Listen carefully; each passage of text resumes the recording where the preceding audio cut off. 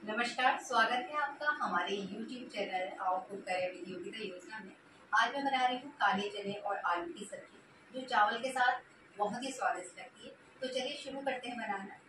काले चने और आलू की सब्ज़ी बनाने के लिए मैंने एक कटोरा काले चने धो के भिगा लिए हैं रात भर भीग के देखिए डबल हो चुके हैं, इसको कुकर में डाल देंगे और साथ में थोड़ा नमक डाल के इसको बॉईल कर लेंगे। लगभग पाँच से छः सीटी लगाई हैं, चने हमारे गल चुके हैं। ये देखिए। अब कढ़ाई में डाली हूँ मैं तेल। तेल गरम हो गया, इसमें डाल दिया है जीरा। जीरा थोड़ा चटक गया तो इसमें डाल दिया बारीक कटा लहसुन और प्याज। इनको हम भून लेंगे। इसके साथ साथ ही मैं हरी मिर्च और बारीक कटा हुआ अदरक भी डाल दे रही हूँ। आप अदरक का पेस्ट भी डाल सकते हैं। अब लहसुन प्याज को ब्राउन होने तक हम भून लेते हैं। देखिए, लहसुन प्याज हमारा अच्छे से भून चुका है। अब डाल दिया मैंने टमाटर की प्यूरी।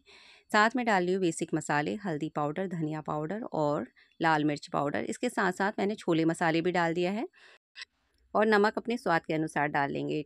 टमाटर को मसालों के साथ थोड़ी देर भून लेते हैं और थोड़ा पानी डाल के कवर करके लगभग दो मिनट मैंने टमाटर को पकने दिया है। टमाटर हमारा अच्छे से पक चुका है, गल चुका है।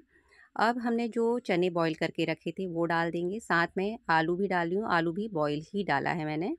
अब मसालों के साथ इनको थोड़ी देर भून लेते हैं और साथ में मैं डाल रही हूँ पानी ग्रेवी के लिए। पानी भी मैंने बॉईल ही डाला है। अब इसको हल्की आँच में कवर करके थोड़ी देर पकने देंगे। लगभग छः सात मिनट मैंने इसको और पकने दिया है ताकि छोले और आलू में नमक और मसाले अच्छे से एब्ज़ॉर्व हो जाएँ। ये हमारे काले चने और आलू की सब्ज़ी बनके तैयार हो चुकी है। ये बहुत स्वादिष्ट बनी है। हरे धनिए से इसको गार्निश कर लेंगे और गर्मा गर्म चावल के साथ इसको सर्व करेंगे।